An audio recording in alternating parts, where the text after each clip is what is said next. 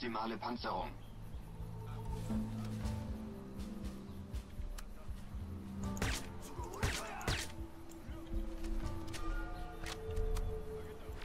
Tarnfeld aktiviert.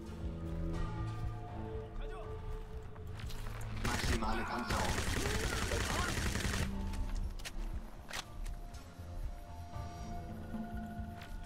Tarnfeld aktiviert. Maximale Panzerung. Tarnfeld aktiviert. Prophet, ich bin jetzt im Übertragungswagen. Panzerung. Sehen Sie sich die Terminals an. Greifen Sie auf Ihr taktisches Netzwerk zu. Okay, ich bin drin. Starte jetzt den Download. Ich habe alles. Komme jetzt zum Treffpunkt. Gute Arbeit, Nomad.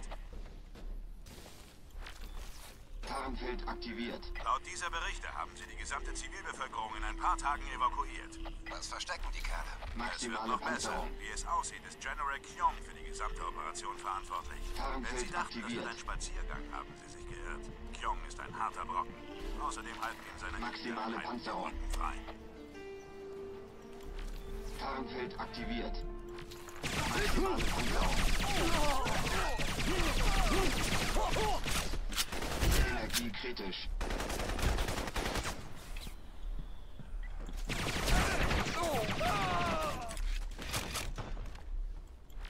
Tarnfeld aktiviert. Maximale Panzerung. Hau. also Pistole allein. Das ist nicht so einfach. Ah ja. Jetzt äh, was Weltpolitisches. Ups, es ruckelt jetzt wieder ein bisschen mehr.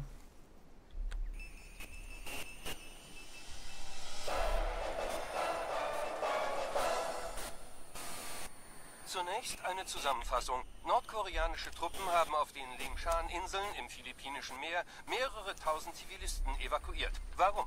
Laut des nordkoreanischen Machthabers Kim Jong-chul hat die Operation rein humanitäre Gründe. Selbst auf Hawaii wurden leichtere Beben registriert. Nordkorea behauptet, dass ein bevorstehender Vulkanausbruch die Bevölkerung der Insel bedroht. Amerikanischen Experten zufolge gab es auf der Inselgruppe seit Beginn der Aufzeichnungen keine vulkanischen Aktivitäten. Außenminister Douglas Bornheim setzt die Vorgehensweise Nordkoreas mit einer Invasion gleich. Worum geht es also wirklich? Wir begrüßen zu diesem Thema Dr. Joseph Harford, den Leiter der Kommission für fernöstliche Beziehungen. Mr. Harford, was genau bezweckt Kim Jong-chul?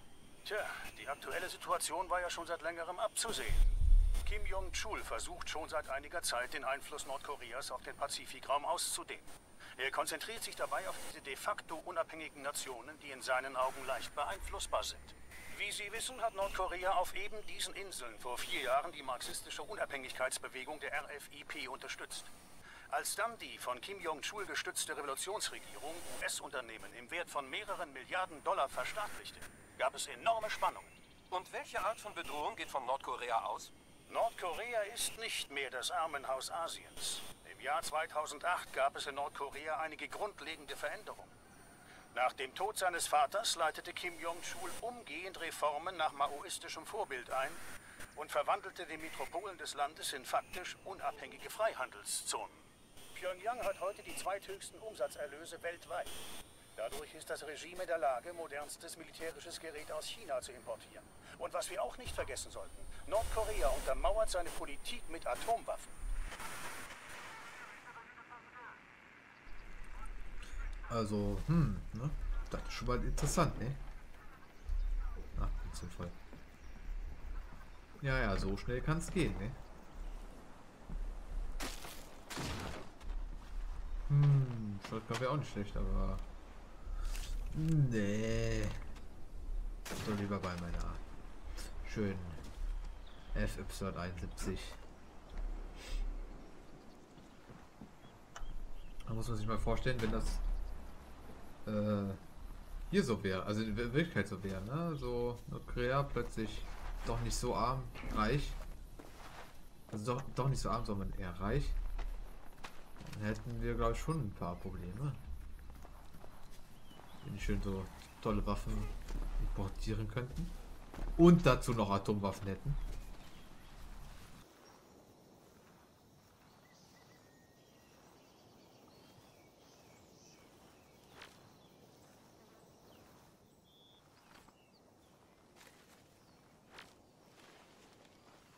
Tarnfeld aktiviert.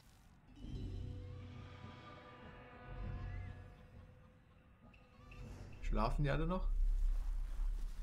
Ja gut, ich habe schon äh, viele erwischt, das, ist, das muss man dazu sagen. Also wenn man, so, Maximale Panzerung. wenn man einfach so reinbricht, ist natürlich äh, die ganzen Leute von den Stränden kommen noch dazu oder von hinten von dem Außenposten. Das ist natürlich jetzt nicht mehr der Fall, weil ich schon alle ausgelöscht habe. Tarnfeld aktiviert.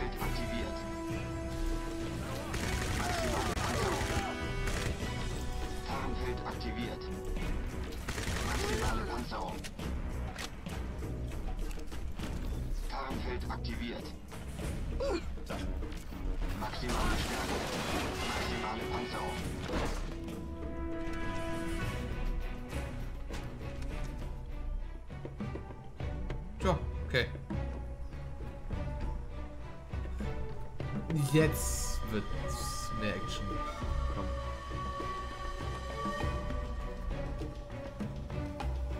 Ich muss nämlich noch da oben hin.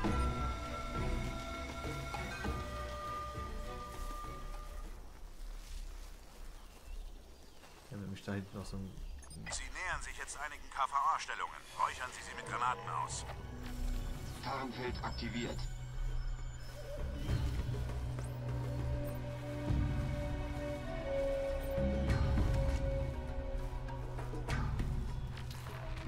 Maximale Panzerung.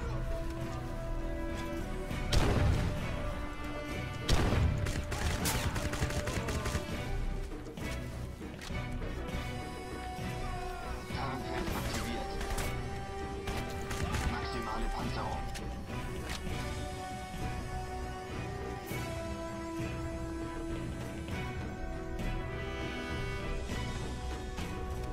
Jetzt äh, muss ich den Berg hoch.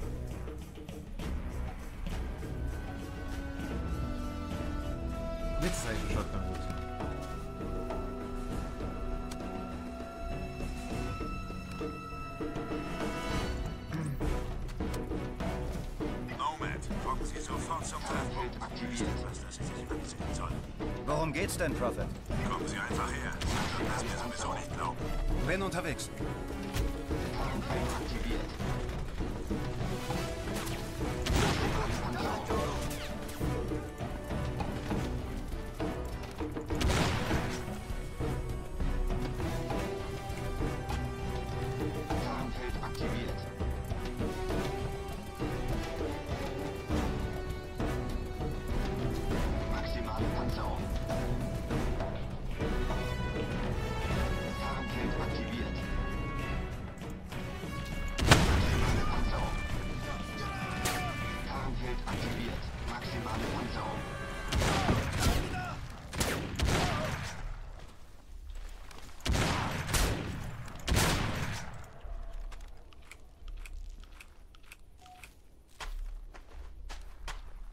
Das war geil.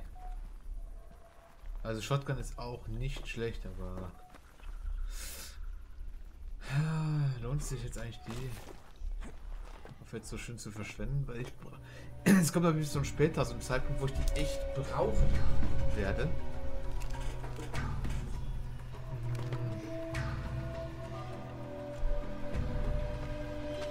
Also ich fand ganz auch, hat man jetzt gerade gesehen, die ist schon stark. Die ist schon echt gut, aber... Ja.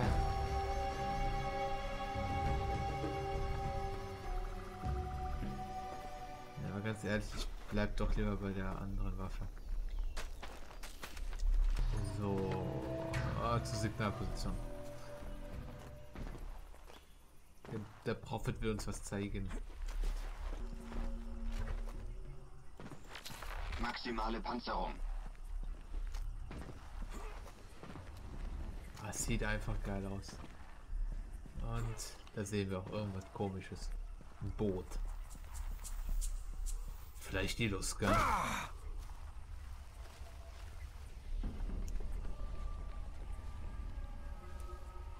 Da sind Sie ja endlich.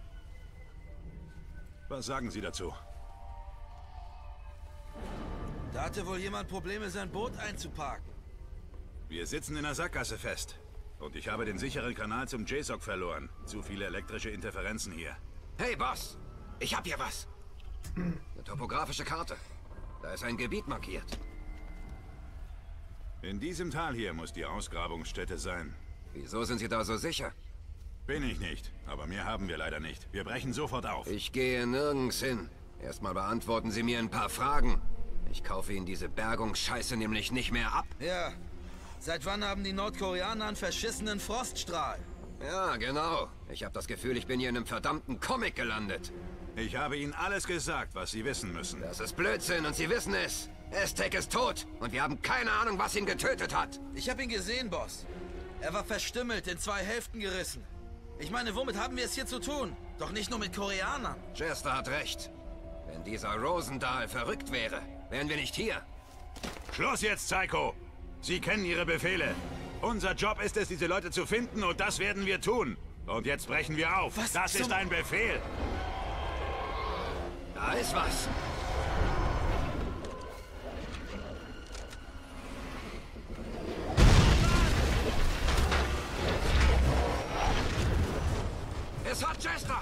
Müssen hier weg! Wir müssen hier weg! Los! Vorwärts! Los! Los! Seht ihr es? Wo ist es hin? Hier lang! Vorwärts! Los! Maximales Tempo. Maximale Panzerung.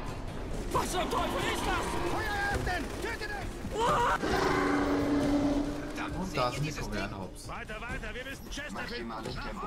Gehen wir! Maximale Panzerung. Hauptsache, Ihm nach! Die sprüht so und ich bin einfach so schon ein bisschen schneller da.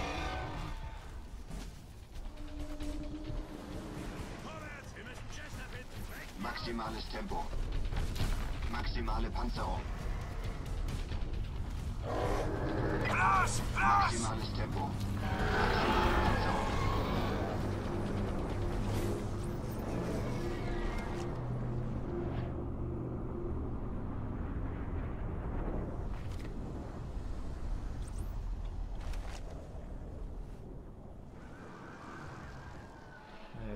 Es ist schon ein bisschen weg.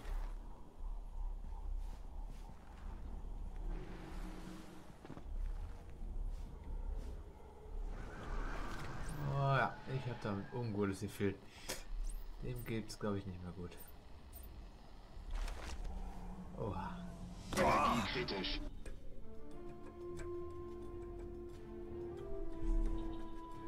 Und das war das erste Kapitel. Jetzt kommt das zweite. Recovery.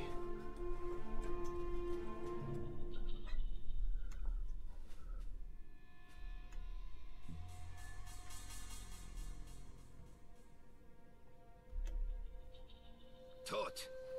Verdammter Mist. Oh, verdammt! Was ist hier los, Boss? Wir sterben wie die Fliegen. Ich habe Ihnen alles gesagt, was ich weiß. Mein Wort darauf. Und jetzt zur Seite. Ich muss ihn neutralisieren. Mach's gut, Kumpel.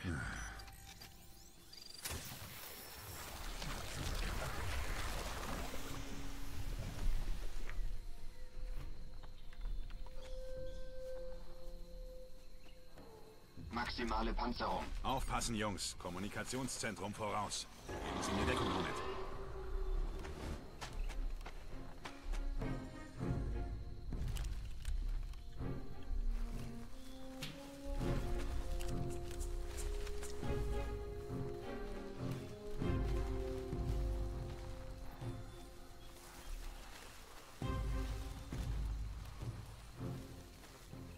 Geben Sie uns Deckung. Okay. Nomad, Sie kommen mit.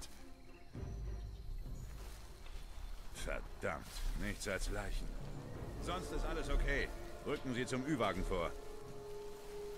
Greif auf den sicheren Kanal der KVA zu. Blöd. Nomad, Sie und Psycho sichern das Gelände. Wenn du nicht genau den zuguckst.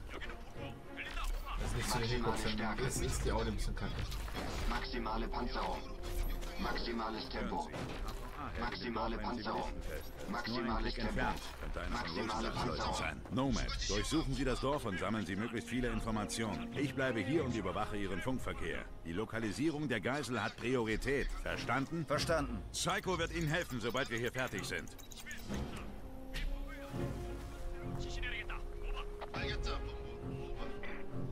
So, der Wagen ist wieder schon so, schon so verlockend, aber ich kann sagen, dieser Weg, der ist zwar etwas lang, aber es ist doch sicherer, wenn man zu Fuß geht.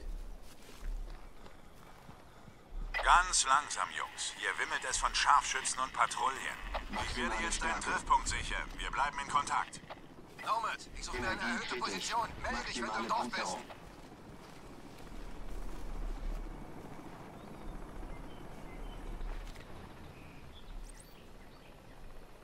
Da, einen der Scharfschützen ausfindig gemacht.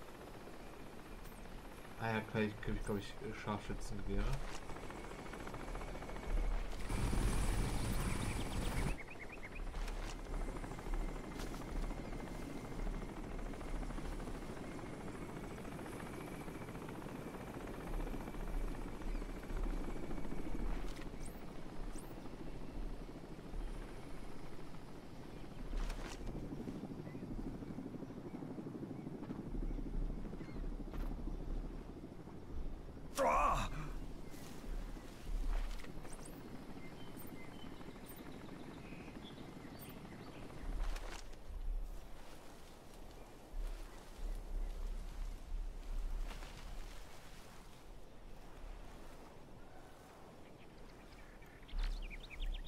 Tarnfeld aktiviert.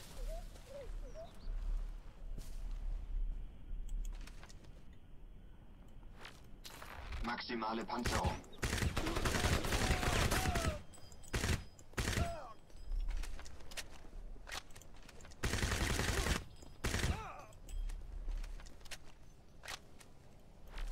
Tarnfeld aktiviert. Naja, ging so. Ups. Maximale Panzerung. Tarnfeld aktiviert. So schön, dass man den Sound von äh, denen dann hört. Das ist alles. Alles sieht anders aus.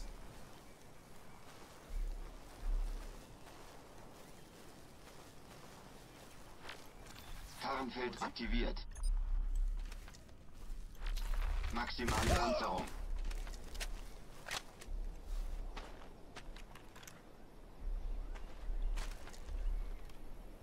So, stumm ist der.